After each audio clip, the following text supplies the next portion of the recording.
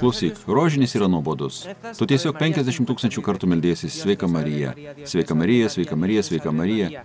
Kas gali tai ištverti? Luisai, klausyk. Tai nėra tik žodžių kartojimas. Tai Kristaus gyvenimo apmąstymas. Taip, bet aš galiu tai daryti nevargindamas savo liežuvio sveika Marijomis. Tai ne tas pats, kaip mąstyti apie mūsų viešpaties gyvenimą kartu su jo mama, kuri mąstė šios dalykus savo širdyje. Štai, imk melskis, man reikia eiti. Tu visada man darai tą patį.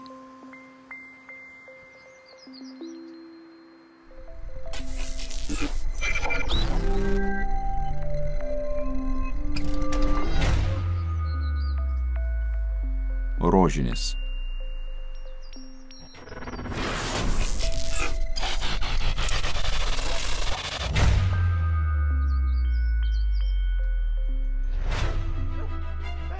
Oi, kas čia?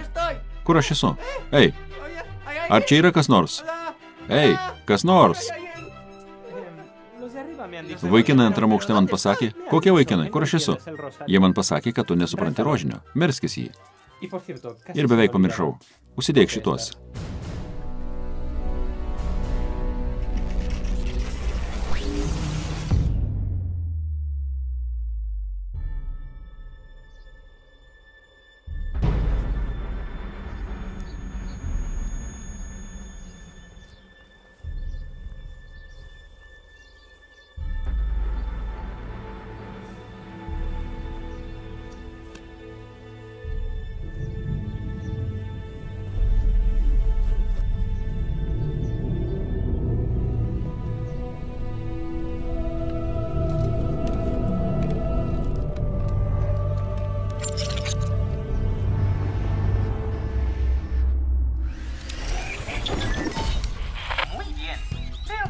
Labai gerai.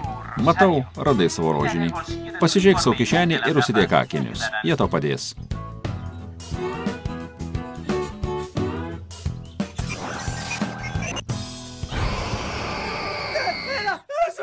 Kas čia buvo? Demonas, savame suprantama. Sakykime, jog pirmoji priežastis, dėl kurios melžiamės rožinį, tai meilė Jėzui ir mergeliai Marijai. Šis simuliatorius to parodys jo gali prieš mūsų priešus. Nagi, užsidėk akinius ir reikia kovoti. Pirmoji džiaugsmo paslaptis – įsikūnymas.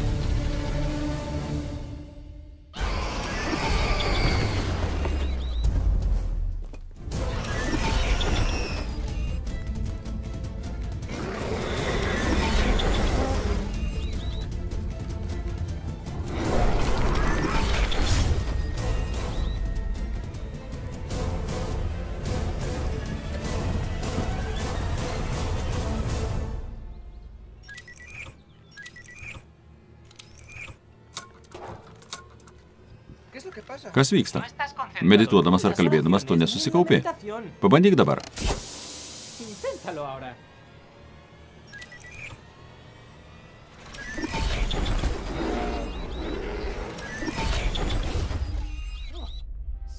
Taip, serė.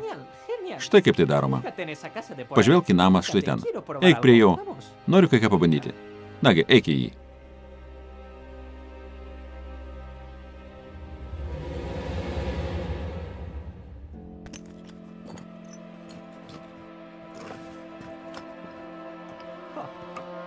Gerai, atrodo, kad Dievas tau leidžia patirti nepaguodą. Nuo dabar turėsi kovoti vienas, tamsoje. Bet nebijok, turėsi pakankamai šviesos, kad neparkristum, jei kovosi drąsiai.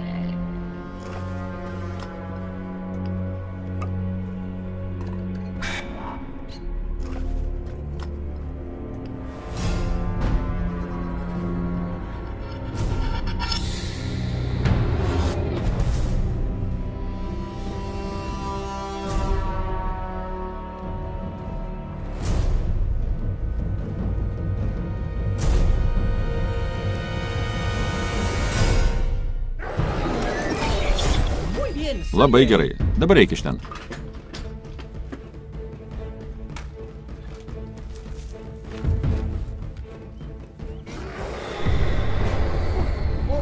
O, laukia pastebėjau visą būrį. Aš atsiųsiu to pastiprinimą.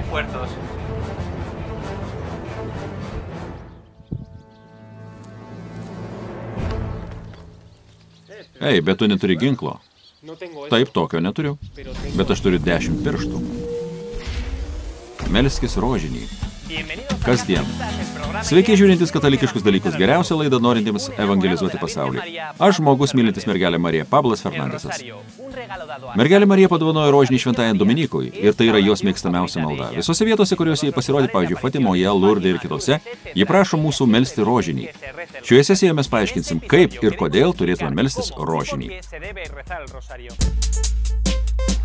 Rožinis, kodėl jį meldžiamės? Štai ką noriu sužinoti. Be to, kad tai yra mėgstamiausia mūsų motinos malda, ją melsis patarė ir daug popiežių bei šventųjų. Kaip prieš tai matėme, tai yra geras būdas priešintis velniui ir jo gundimams.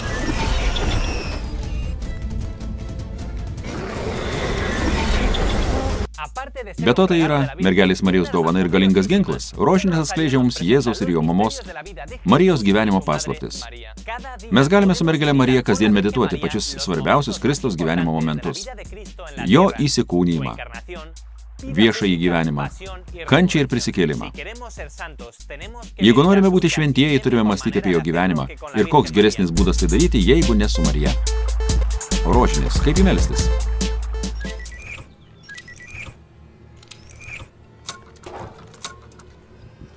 Kas vyksta? Tu nesusikoncentruoji į maldą ir net į apmąstymą. Pabandyk dabar.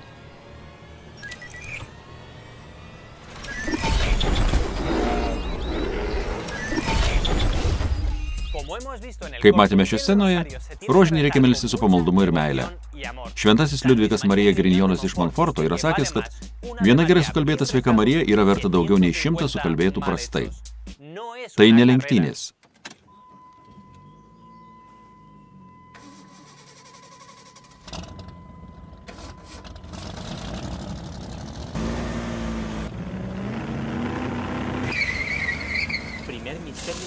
Pirmasis garbės slėpinys – prisikėlimas. Santa María, Madre de Dios, ruega por nosotros pecadores, ahora y en la hora de nuestra muerte. Amén. Dios salve María, llena de gracia, Señor es contigo, bendita tú eres entre todas las mujeres, esta hora y en de gracia, Señor es contigo, Santa María, Madre de Dios, ruega por nosotros pecadores, ahora y en la hora de nuestra muerte. Amén. Hay que rezarlo despacio. Rožinį reikia melstis lėtai, kreipiant dėmesį į žodžius ir slėpinius, arba bent į Jėzų ir Mariją. Kol medituoji, gali įsivaizduoti paslapties vietą ir įvykius. Visą tai daryk žinodamas, kad esi savo motinos Marijos akivaizdoje. Ir net jeigu tu to nejauti, Dievas ir Marija džiaugiasi, kai mes melžiamės rožinį.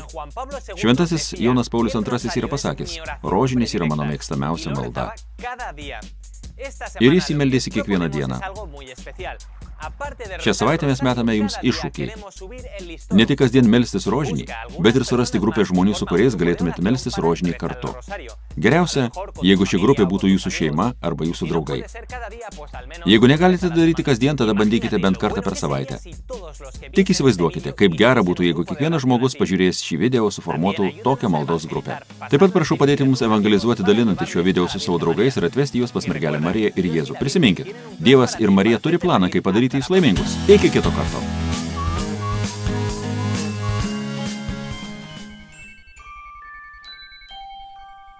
you